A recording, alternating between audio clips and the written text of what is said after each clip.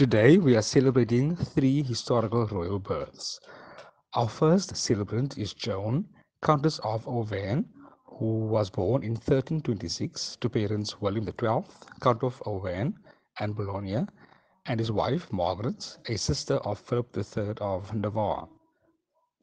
Joan inherited the Countess of Auvergne and Boulogne after the death of her father. On the 9th of February 1350, she married John, Duke of Normandy, and upon his succession to the French throne in August 1350, she became Queen of France. There were no surviving children from this union.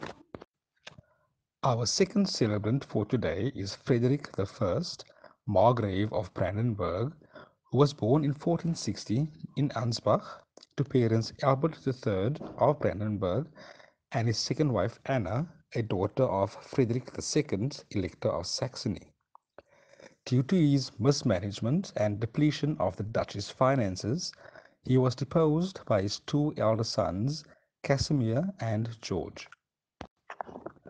Our third and final celebrant for today is Victor Amadeus I, Duke of Savoy, who was born in 1587 in Piedmont to parents Charles Emmanuel I Duke of Savoy and Catherine Michaela of Spain, daughter of King Philip II of Spain.